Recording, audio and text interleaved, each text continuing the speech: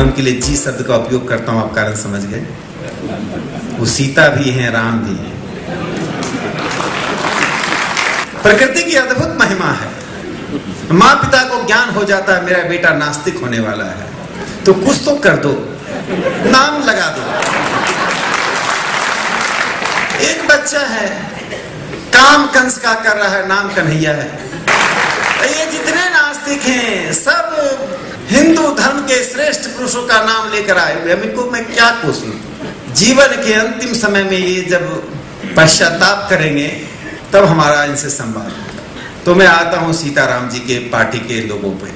मैं क्यों कह रहा हूँ, बता रहा हूँ, अमृत सेन का मैंने नाम लिया। जो लोग इंग्लैंड, अमेरिका में पढ़ पढ़ कर वहाँ घूम घूम कर वहाँ के समाज के साथ रास रचाकर भारत को उपदेश देते हैं, सुनिए ये आइडिया ऑफ़ इंडिया क्या है। धर्मराज युधिष्ठिर से किसी ने सवाल पूछा। सवाल पूछने वाला व्यक्ति सन्यासी ही था।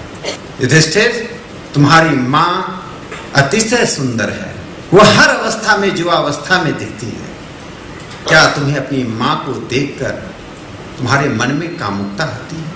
युधिष्ठिर शांत भाव से कहते हैं, मेरी माँ सुंदर है। उनकी सुंदरता मुझे प्रसन्न करती है। लेकिन मेरा सरोकार तो मातृ भावना के प्रति है, समाज के प्रति है, समाज के नियमों के प्रति है, धर्म के प्रति है। इसलिए कामुकता क्या चीज़ होती है मुझे मालूम नहीं हो पाता है इतना कठोर और कठिन सवाल इसी हिंदुस्तान में पूछा जा सकता है और इसी हिंदुस्तान का बच्चा कह सकता है कि मैं उसी उदारता के साथ तुम्हारे इस कठोर, कठिन सवाल का उत्तर देता